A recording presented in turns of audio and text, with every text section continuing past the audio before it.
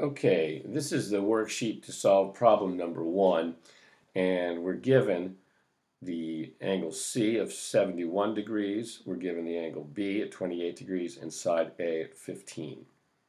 Now, in order to do the law of sines, it's best to have an angle side pair. So all we need to do is add up the th two angles that we have, and then subtract them from 180 degrees. And what we'll do is we'll get angle A, and we'll do it 180 minus 28 minus 71 is 81 degrees. So now we have an angle and its paired side A. So we want to find the other two sides B and C. So what are we going to do? We're going to use the law of sines and since what we're doing is we're trying to find a side, we'll set up the proportions this way. A is the sine A, is B is the sine B. Here in this case, that's 15 divided by the sine of 81 degrees. That's to B uh, as to the sine of 28 degrees.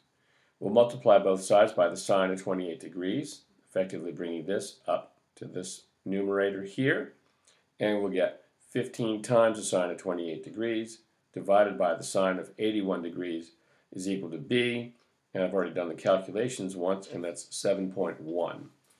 Now, to find side C, we'll use essentially the same proportion, but I don't want to key all of this in again. What I want to do is use the calculator and have it just remember what I've done and easily just incorporate this angle here, 71 degrees, into my calculations. So to do that in the calculator, we'll bring it over. Okay, here's the calculator. And I already have, it's a little bright, let's do it that way. I already have it set up. So you can see I have the sine, 15 times the sine of 28 degrees and that's divided by the sine of 81 degrees.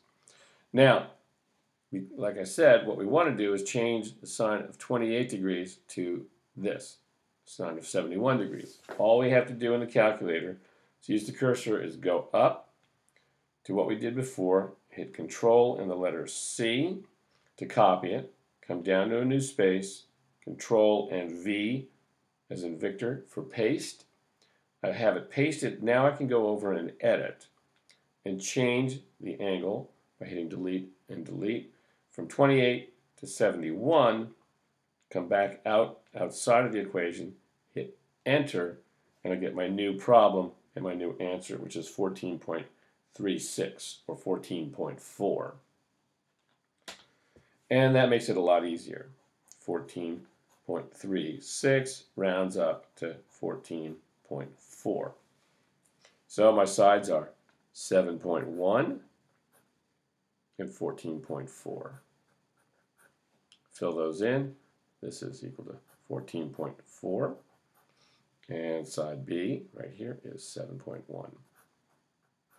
And I'm done with the problem. That's where I put the answers right at the top.